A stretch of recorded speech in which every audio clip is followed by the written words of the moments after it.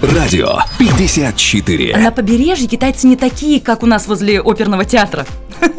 Там абсолютно э, свободная какая-то такая речь. Э, очень хорошо и рас, расслабленно себя чувствуешь. И, и даже не возникает желания разговаривать импульсивно, вот даже как я сейчас здесь. Uh-huh, uh-huh. Такого нет. Ты все время в покое. Все время в покое.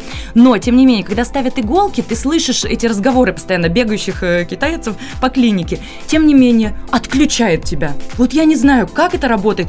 Еще такой может ток разряд быть. То есть по всему телу шх, и тебе хорошо вот от этих иголочек. Говорят, они как-то там энергию э, стабилизируют, гармонизируют. И, ну, видимо, все получилось, судя по вашему сейчас. Мы отправляли фотографии, мама все время спрашивала, а где люди? Почему нет людей? Но у нас на самом деле было ощущение, что мы где-то в деревне.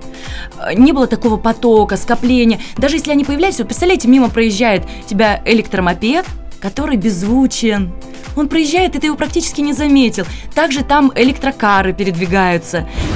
А еще мы э, отдыхали на пляже, э, слышали там китайская музычка. Мы думали, вот, вот мы хотим 14 дней слушать этот релакс, это, эти китайские напевы. Но каждые 5 минут там начиналась, э, начинала появляться какая-то русская речь, очень странная, где говорилось в конце «Спасибо за работу сотрудничеством». Мы долго могли, не могли понять, что это значит, но, видимо, какой-то такой очень приблизительный перевод на русский язык. Ну, было забавно. Что Спасибо, вот... что вы с нами да, приехали. Да. Спасибо вам за сотрудничество. И мы очень хотим, да, говорить на вашем языке.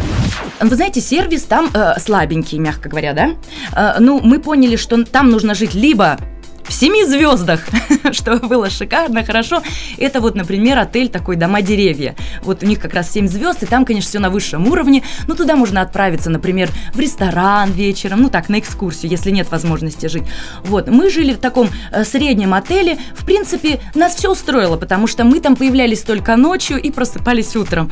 Э, вот, но для особо требовательных туристов э, я бы, наверное, предложила что-то поискать еще поподробнее, потому что для китайцев все-таки все-таки, ну вот он протер тряпочкой, даже смахнул, и уже хорошо. То есть надо все делать быстро, главное время, не качество. То есть такое есть? Они быстро не делают, а. они медитируют, когда протирают, так стряхивают тряпочкой. Я хотела бы отметить, что китайцы, так же как и турки, э, хотят все тебе продать, все и сразу. Но в отличие от турков, если ты, у турков э, у них такие глаза горячие, жгучие, и ты уже сразу видишь, что тебя обманывают, то у китайцев очень открытый взгляд и простодушный. Вот, они как ни в чем не не бывало, тебе говорят, мы говорим, извините, у нас сейчас выселение, мы к вам попозже придем за товаром. Они говорят, нет, вы, то есть не хотите сейчас, а может быть сейчас? То есть они четко живут по правилу, что сделка должна совершаться здесь и сейчас. Что ели? Ели мы морепродукты. Мы прям э, э, вот решили сделать акцент такой, не хотели никакой русской кухни, но нас хватило ненадолго потому что э, соус обычно либо очень соленый, либо очень сладкий. Э, я выбирала сладкий, Дима говорил, что он уже не может этот сладкий соус есть, вот, а соленый как-то мне был не по душе.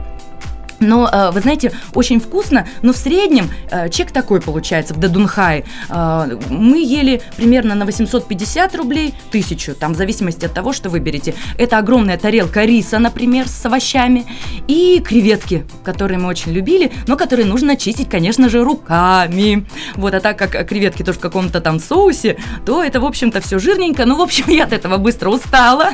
Дима до последнего боролся, он хотел наесться этой кухни. Э, азиатской. Ну и, в общем-то, мы заказывали еще сок маракуи. Это вообще вкуснота. Мы заказывали его каждый день. Он стоил 15 юаней, что на наши денежки 150 рублей. Стаканчик. Да, ну большой. А, Там а, все, все порции, вот од, одну шейкер. Тарелку приносят угу. и на двоих. Один стакан приносят и на двоих.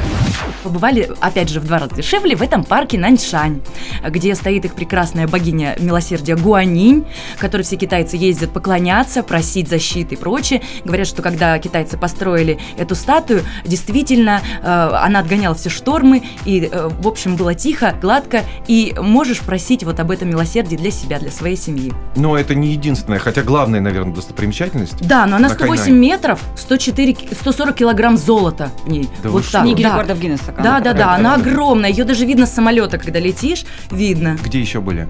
А где еще были? Мы были в романтическом парке. Это тоже удивительное место. А, там было шоу. Вы знаете, мы много всего повидали с Димой. Мы были удивлены, потому что под нами двигались кресла, сцена постоянно как-то монтировалась, то, она, то вода была на сцене, потом это все закрывалось. Э, из середины зала вдруг вырастали эти девушки прекрасные с перьями э, в виде хвостов сзади. Вот, э, сверху плыли девушки тоже над нами проплывали, корабль спускался. Ну, в общем, они нас так приятно удивили с технической стороны. А еще были э, альпинисты, которые по стенам бегали. Вот, ну, это такое было шоу, но романтик-шоу. Вот оно прям приятное, там лепестки роз насыпались. То есть ни секунды, ни секунды ты не был э, отвлечен, но при этом всем, друзья мои, это удивительно, конечно. Все китайцы это все дело снимали бесконечно. То есть не так, чтобы снять в сторис и выложить в Инстаграм, а бесконечная съемка. И мне всегда интересно было, куда они потом это отправляют. То есть китайцы туристы? Не знаю, не знаю. Ну, все китайцы все снимают. Все снимают. в реальном времени. Может, они транслируют это все. Когда мы приехали туда, я подумала, боже, какая политика страны. Заблокирован Инстаграм, Ватсап. Думаю, наверное, для того, чтобы люди были сосредоточены на деле. Но не тут-то было. У них есть свои. свои. Ватсапы, Инстаграмы. И вот, видимо, туда они все это выкладывают, но в полном объеме, чтобы уж наверняка. Твой дом, твоя область. Новосибирск 106 и 2 FM.